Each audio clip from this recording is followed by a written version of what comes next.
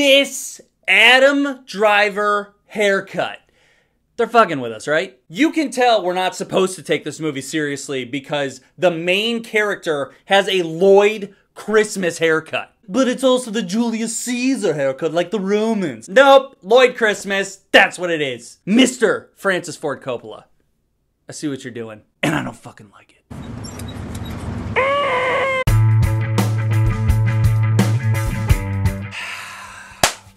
Okay, um, well, in the future, Adam Driver works for the Design Authority, or he runs the Design Authority. He's a visionary and an inventor, and he wants to design and create the city for the future. Gus Fring is the mayor of this city, New Rome. And he hates Adam Driver and he wants to stop him from creating the city of the future. And then there's a bunch of Rome references and some sexy stuff. And Adam Driver is this dude Caesar. Just it's a little on the nose, huh? And he wants to create this utopia for humanity using this magic metal that he invented called Megalon.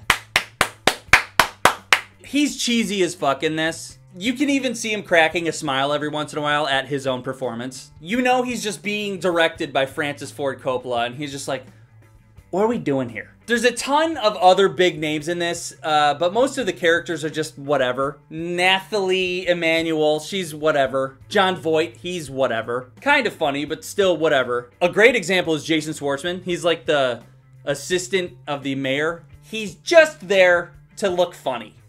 That's it. He stands there and puts his hands on his hips and goes, and I'm just curious how much he was paid to do that. However, the shining stars in this pile of dog shit are Shia LaBeouf and Aubrey Plaza. You just know that they read this horrendous script and they went, oh hell yeah, I know exactly what's up. They took every line of theirs and they just played it way over the top. And they did so much better than every other actor in this. Because I swear, they were the ones that knew exactly what this is. Shia LaBeouf actually made me laugh out loud a few times. If you do decide to go see this, look forward to his performance, okay? This movie is horrendous. It's a dumpster fire full of shit. The tone of the acting is all over the place. The script doesn't really tell a story at all. There's this disjointed messaging everywhere. The dialogue is actually laughable, and this entire thing as a whole is just batshit craziness. I know there's going to be some people out there, probably critics, that are going to try and rationalize this shit just so that they can say, oh, you don't get it. It's cinema. Guess what? You're full of shit because I figured out what this actually is. Francis Ford Coppola made The Godfather. A lot of people believe that that is the greatest movie ever made. I wouldn't argue with that. Obviously, that also includes Godfather 2. Francis Ford Coppola made Apocalypse Now. A lot of people would consider that the greatest movie ever made. I think that after years and years of hearing that he's made the greatest films of all time, he sat back and took a minute and thought, but what if I made the worst movie of all time?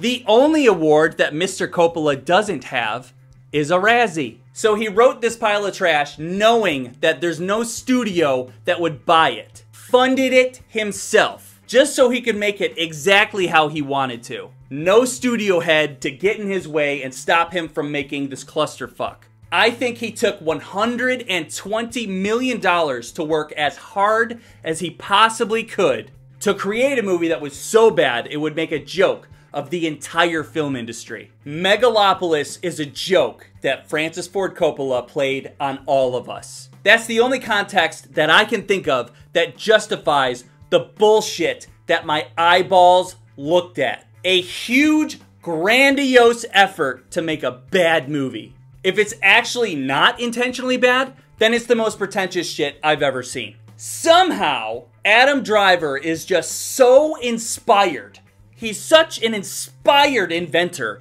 that he can just freeze time. That is a joke. So stupid. There's a scene where Jon Voight is in bed and people walk in and he's like, hey, look at my boner. He says boner. And sure enough, he's got a stiffy under his bed sheet. just to reveal that it's a bow and arrow before he shoots somebody. There's not a single person that could possibly take that seriously. That is a fucking joke. Obviously, I don't want you to waste your time or money on this awful movie. In my theater, in the first 15 minutes, two people walked out. And throughout the entire 2 hours and 20 minutes, I'd say at least 10 more people walked out. The audience that actually stayed, they did laugh a lot. Yeah, that's a good way to put it. This is laughably bad, but not so bad it's good. You know? It's just a bad joke, and I don't want you guys to fall for it. Just don't waste your time, guys, okay? It's so dumb. Okay, see ya. Subscribe. Ugh, like the movie ends on a fucking freeze frame. Come on.